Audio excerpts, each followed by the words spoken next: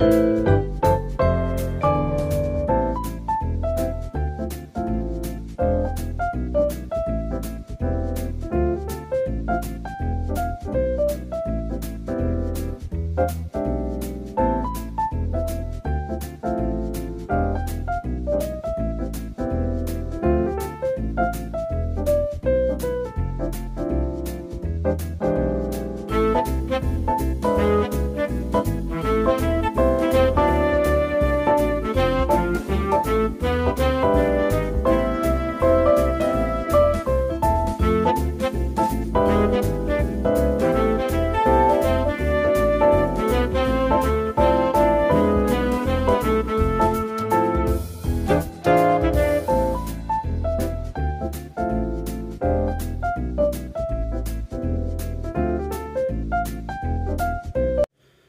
Hay algo magnífico en el mundo del vino, tanto en su cultura como en su degustación, al igual que en la gastronomía, al igual que en el turismo, al igual que en los viajes, pues es la diversidad.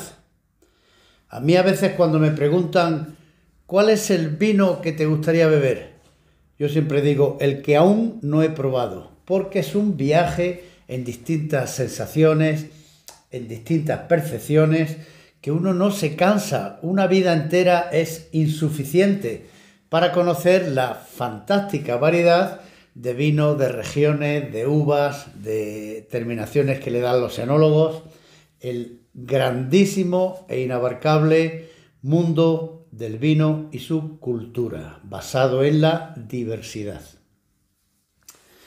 Por eso yo me sorprendo, gente que dice que siempre bebe el mismo tipo del vino, de una región o de una marca. En fin, a mí me sorprende tanto como una persona que me diga que siempre come carne de cerdo y solo come carne de cerdo. Así que eh, la diversidad es un gran valor en el mundo del vino. Y entre todos los países productores, Portugal es un país que me encanta, precisamente porque ha sabido preservar su diversidad. Mientras la mayoría de los países productores de vino plantan repetitivamente las mismas castas de uvas, la Cabernet Sauvignon, la Chardonnay, la Merlot, la Tempranillo, la Garnacha, etcétera, etcétera, etcétera, pues Portugal ha sabido defender sus variedades de uva tradicionales que no encontramos en ningún otro sitio, como la Toriga Nacional, o como la Vaga, o como la Arinto, y un montón de diferentes variedades que solo se encuentran en Portugal, con lo cual lo hace un país muy disfrutable porque tiene vinos diferentes a lo que probamos en el resto del mundo. Y dentro de Portugal existe una denominación que a mí particularmente me gusta mucho, que es Baejada. Hoy hablaremos de la denominación de origen Baejada, tan cerca de España en cuestión de kilómetros y tan lejos de España en cuestión de conocimiento, porque la mayoría de los españoles no han probado nunca unos vinos de Baejada. Hoy analizamos Bairrada y sus vinos. Bienvenidos a Vino Clarito. Vino Clarito, el vino explicado para que todos lo entiendan. Bairrada, como pronuncian los portugueses, o Bairrada, como diríamos en español, es una región que se encuentra en una provincia que es Beira Litoral en Portugal. Se encuentra al norte de Lisboa, a unos 200 kilómetros, al sur de Oporto, a unos 100 kilómetros de Oporto, y eh, entre el Atlántico y otra región vecina famosa de vinos, que es Down, que hablaremos de ella otro día. Pues bien, Bairrada, el nombre viene de barro, porque las tierras son arcillosas, y eh, además es un lugar donde llueve mucho, influenciado por los frentes atlánticos. Y esa combinación de arcilla y agua de la lluvia, pues da el barro comúnmente y de ahí viene el nombre de Baerrada.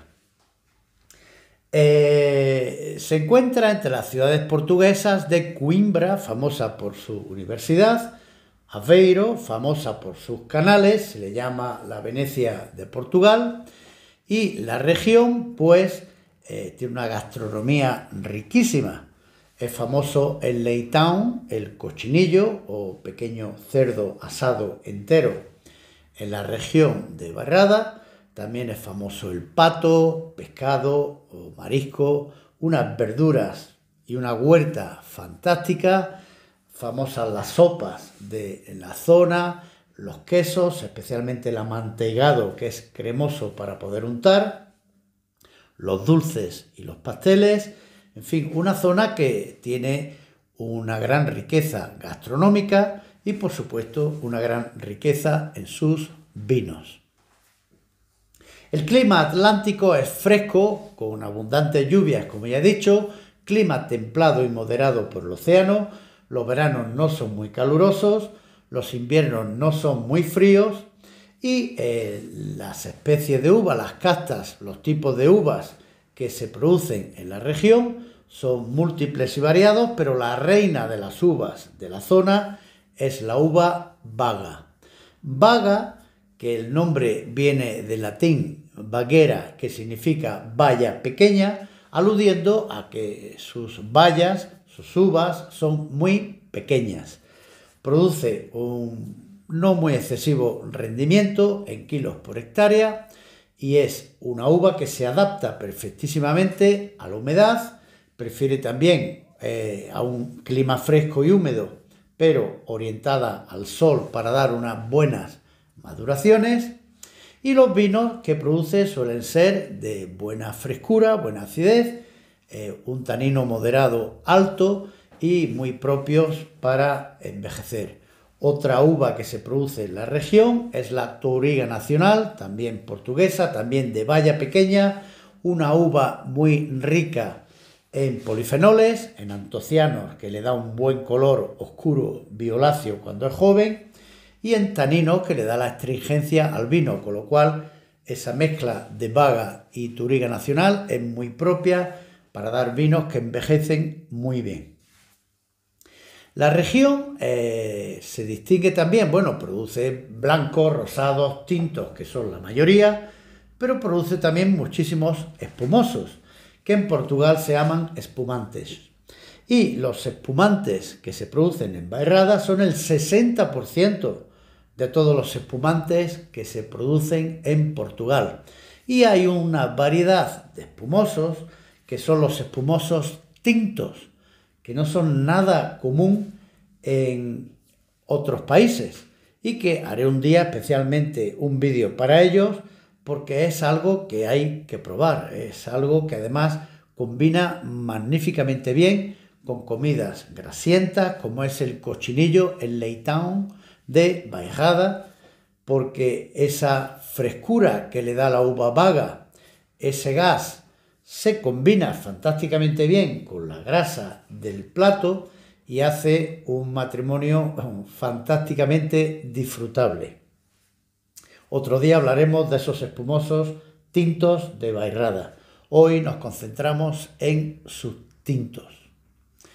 Bairrada además es un área de, fantástica para hacer turismo porque eh, tiene la belleza del mar, tiene la belleza de los bosques, de, de la montaña incipiente al este y tiene unos escenarios para disfrutar de tanto del mar como de la vegetación de los bosques. Hay un espacio que yo aconsejo al que no lo conozca que vaya a visitarlo y a quedarse en él, que es eh, la Mata Nacional de Bushaco y el Palacio de Bushaco, que es un maravilloso y bellísimo palacio en mitad de un bosque, eso se llama eh, mata en portugués, y entonces es un espacio que es adorable y que sin duda tenéis que conocer y ya visitáis varias bodegas que hay muchas y muy interesantes dentro de Baejada. Bueno, pues de los diversos vinos que tengo aquí de Baejada voy a seleccionar pues de los más jóvenes con menos envejecimiento, un marqués de Marialba que obtuvo una medalla de oro en Mundus Vini y un vino con una relación calidad-precio más que remarcable, un vino que vale 5 euros. Y otro vino, pues más envejecido, un 2018, que es un Fray João, un fraile o padre Juan. Eh, las variedades de estos vinos, pues tienen las típicas de la zona, Vaga Turiga Nacional, con un poquito de tempranillo, que en el área se llama tinta Roris, y el Frey Joao, pues tiene eh, la vaga, la Turiga Nacional, pero con un poco de Petit Verdot. Vamos a ver esos dos estilos diferentes de vino de bajada, también con envejecimientos diferentes. Vamos a nuestra prueba. Aquí tenemos a los dos vinos que he elegido para nuestro análisis. Un Marqués de Marialba cosecha 2019 y un Frey Joao cosecha 2018. Absolutamente, por supuesto, denominación de origen Bairrada. Uno está hecho en una de las localidades más importantes de Bairrada, que es Cantañede, de hecho es de la adega, en portugués bodega, eh, cooperativa de Cantañede. Portugal es un país que me llama siempre la atención por la cantidad de buenos vinos que producen las cooperativas. comúnmente, en muchos países, por una cooperativa pues no hace las mismas inversiones que una empresa privada, es difícil convencer a muchos socios de la cooperativa y no suelen producir vinos de gran calidad, pero en Portugal, curiosamente, hay vinos de magnífica calidad hechos en bodegas cooperativas. Entonces, Marqués de Marialba, como ya digo, cooperativa de Cantañede en Bairrada.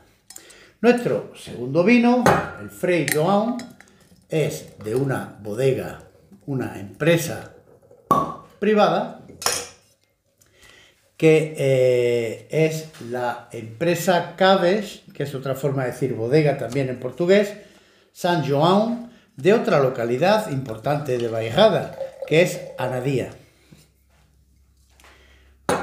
2019 y en este caso 2018. Las uvas, en el primer caso, Vaga la uva reina tinta de Bairrada, mezclada con Turiga Nacional y mezclada con Tempranillo, que allí en la zona se llama o bien tinta Joris o bien aragonés. Esas tres uvas son la Tempranillo. Y las típicas portuguesas, Vaga y Turiga Nacional. Nuestro segundo vino, Frei João, pues lleva Vaga y Turiga Nacional, pero mezclada en un 10% con Petit Verdot una uva que ya sabemos que es de origen francés. Bueno, pues vamos a analizar nuestros vinos. A mi izquierda, Marqués de Marialba 2019. A mi derecha, Frey Joan 2018. Bueno, se ve más concentración, más capa en el Frey Joan. Se ve que las uvas son de menor rendimiento y se ha hecho un vino más concentrado y también se nota claramente en el color. Los dos vinos son de buena capa, pero más alta el número 2. La lágrima muy evidente y algo más marcada en el Frey Joan. El color son vinos ya que están en su cuarto o quinto año y mantienen un color de juventud. El primero tenemos aquí el Marqués de Marialba, un rojo granate y en el segundo, pues con una levísima, levísima anaranjamiento, oxidación en el ribete, pero muy, muy leve. El vino con 5 años se ve todavía un vino joven. Vamos al aroma. Marque de Marialba. Un aroma limpio, eh, intensidad media. Aquí tenemos fruta roja, fundamentalmente eh, ciruela, cereza, frambuesa, con un fondo también que recuerda algo vegetal, algo que recuerda algo ahumado también. Estos vinos tienen leve envejecimiento en barrica. Estamos hablando normalmente de 3-6 meses. En Bajada no es costumbre dar largos envejecimientos en barrica. Aroma muy particular, esa conjunción de fruta roja con los tonos vegetales, con ahumado, muy disfrutable y con mucha personalidad el aroma. Vamos al aroma de la número 2. Aquí tenemos más intensidad y más profundidad de aroma. Muy disfrutable. Me recuerda también a cuero, a especias, a fruta, pero fruta muy, muy madura. Aquí, además de como ciruela pasa, se puede también percibir un aroma a higo. Frutas en compota muy, muy maduras. Tonos de madera, por supuesto de barrica. Aroma muy complejo, alto, limpio y magnífico aroma.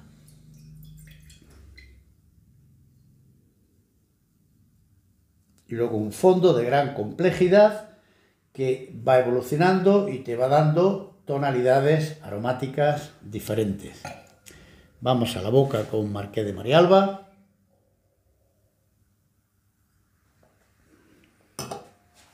Frescura, buena acidez, cuerpo medio, amplitud media alta, longitud larga, un vino con un tanino pero que no molesta en absoluto en la boca, eh, y un vino que realmente, por su frescura, apetece seguir tomándolo.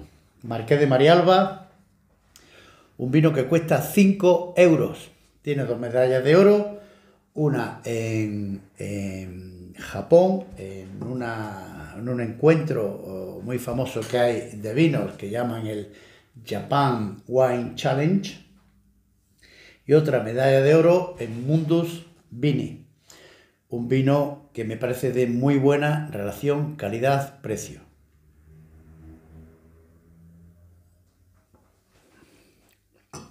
Cinco euros, yo valoro este vino con 89 eh, puntos. Me parece muy buena puntuación para un vino de 5 euros.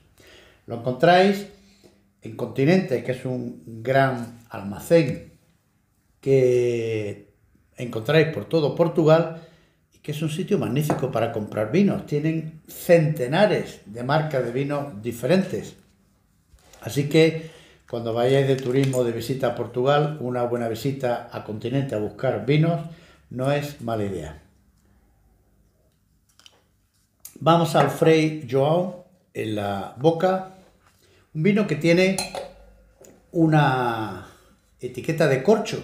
Esto está hecho con textura de corcho natural, tanto la etiqueta como la contraetiqueta, y realmente tiene una gran belleza y elegancia esta etiqueta de corcho pegada en la botella.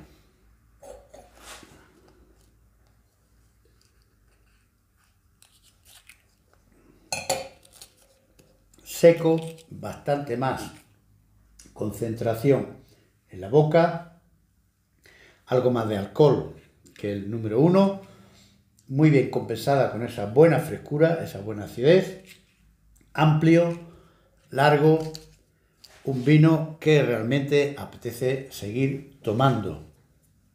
Nada marcado por una excesiva madera, un vino que conserva toda su frescura y todo su afrutamiento, con otros aromas muy complejos que le dan una gran profundidad aromática a este vino. Me gusta mucho este vino. Frei Joao, 15 euros. Lo encontráis en, Portugal Vine Jar, pondré la dirección en, en el vídeo. También lo podéis encontrar en Continente y un vino realmente de una marcada calidad. A mí me parece un vino muy, muy agradable para tomar. Valoro este vino con 92 puntos.